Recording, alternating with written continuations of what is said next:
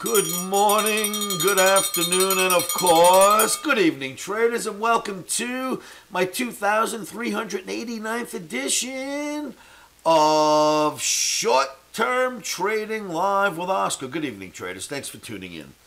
I was going to do a video where I get in front of the camera and present a bunch of charts, but I think markets are starting to move, and I, I got to get this out pronto. The show must go on. So let's see what we have for trading on Tuesday, March 22nd, 2022. Remember that trading is extremely risky. I don't care what vehicle you choose, from crypto to options to futures to everything in between.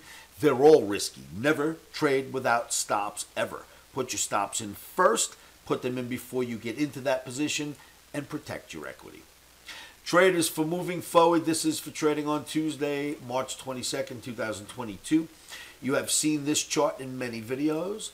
In fact, this is the chart that we use to call the absolute bottom go Omni Go of a 1864 point down rally. From the night we did this video, the next morning, boom, boom, boom, a whole week of rally. We went from 32,944 up to 34,808. Fantastic, right? An 1864 point rally ensues.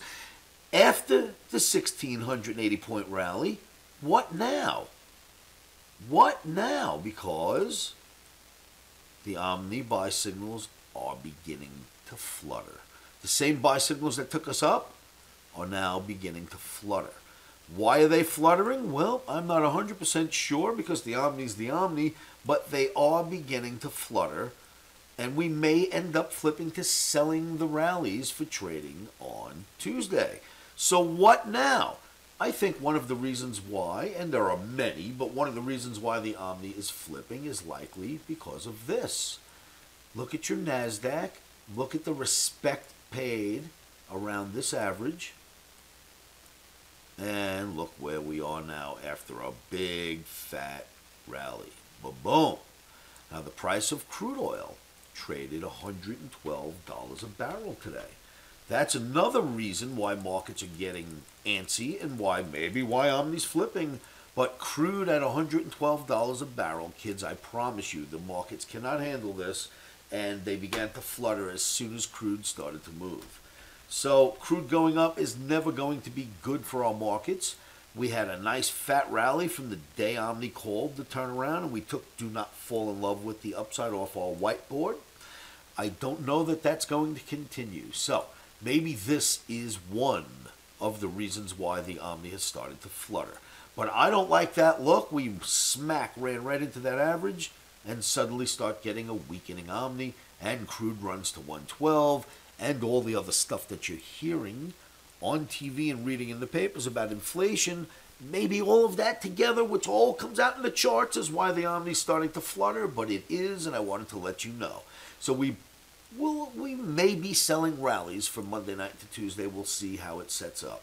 All right, traders, that's what I wanted to show you. Please make sure that you subscribe to these videos right now. Subscribe to them and then come to my live trading room. It is free of charge with no credit card required. Livewithoscar.com. Huddle with me in my trading room. And then remember, keep your emotions out of trading by saying this to yourselves over and over again. And let's do it together. Are you ready? Stop in.